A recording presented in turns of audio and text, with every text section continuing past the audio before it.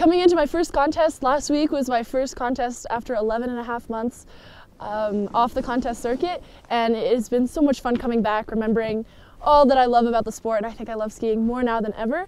And my time away has just reminded me of all the goals that I have for the upcoming season, including trying to learn as many new tricks as possible, enjoying the process, and hopefully um, inspiring some people to do it with me.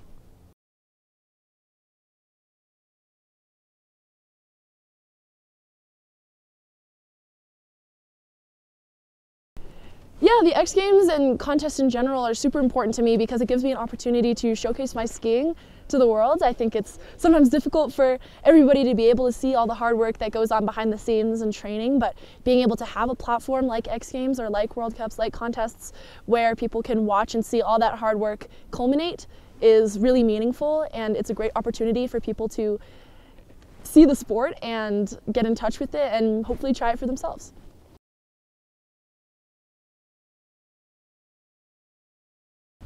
I think with the new audience that I've gained comes responsibility and a desire and drive to use that platform for public good. So hopefully being able to do something bigger than just flips. You know, I do flips for myself, but it's what I do with the medals that I win for others that matters. So being able to um, do outreach projects, being able to talk to younger kids, being able to respond, even if it's just on social media, um, and encouraging kids to do their own best in their field, whatever it may be. Hopefully skiing, but in any walk of life, to break their own boundary is something that I always um, strive to inspire people to do.